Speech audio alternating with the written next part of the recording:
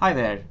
A few people had posted questions about the Allais paradox on the discussion board. And so I thought I would use this short video to do a step-by-step -step demonstration of the paradox and explain why exactly it is a paradox. If you recall, this was the original problem statement. In the first problem, the first choice that participants were presented with, Option A was a 100% chance of getting a $1 million. Option B was a gamble, 10% of 2.5, 89% of 1, and 1% chance of nothing. Uh, in the second problem, uh, the one that had a yellow background, uh, we had two gambles, 11% uh, chance of 1 million, 89% chance of, of nothing. Uh, that was the first option. Uh, and the second option was 10% chance of 2.5 million, and a 90% chance of zero. Now let's take a moment to think about each of these two gambles. In the blue box, uh, here's one line of reasoning. If I'm faced with this choice, I'm going to say uh, option A is a certain 1 million.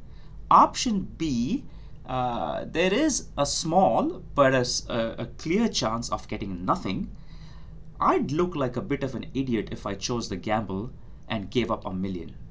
And so one line of reasoning would say uh, that people are going to go for option A, which is a safe option. It's a million dollars, uh, no questions asked. Uh, and so the prediction would be that a lot of people might pick option A. Uh, in the second problem, the yellow box, um, now we are comparing two gambles, and if you compare those two, uh, first let's look at the probability. Uh, in the first gamble, you have an 11% chance of winning 1 million.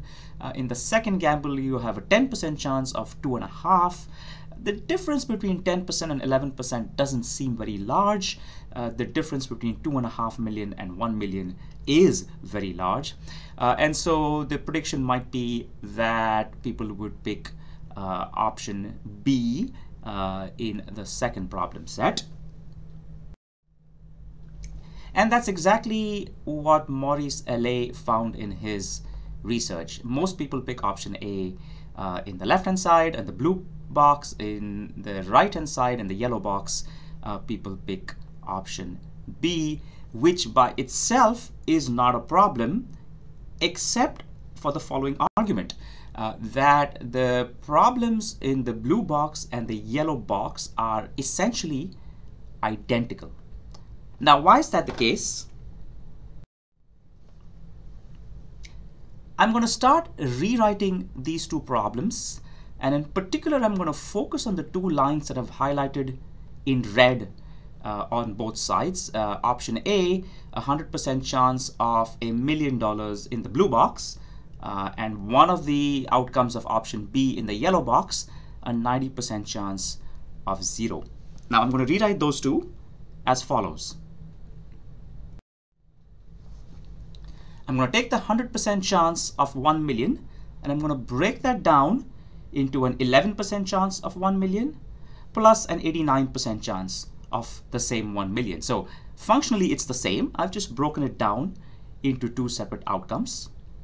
Likewise, on the right hand side, uh, the 90% chance of getting nothing, I've broken down into an 89% chance of nothing and a 1% chance of nothing. Again, functionally equivalent.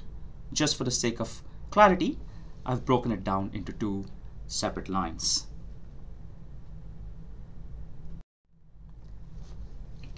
What am I going to do next? Uh, I'm going to start with the blue box and I'm going to look at both options and I'm going to identify a feature which is common to both. And in this case, it is the 89% chance of winning 1 million. It's there in option A. It's also there in option B. And then I'm going to take that 1 million in each of these two features and replace that by nothing. In other words, I'm going to cancel out an 89% chance of 1 million both from option A and from option B. So now, here's what my problem looks like. I've simply replaced the 1 million and with, with 0 And now if I compare the two boxes, left hand side in blue, right hand side in yellow, you will see that they're essentially identical. In fact, they're completely identical. Voila. Right? Now, this is a paradox. It's a paradox because you have two options or two choice sets, two problems, which are functionally identical, yet in one case, people choose option A, in the other case, people choose option B. That is Allais paradox.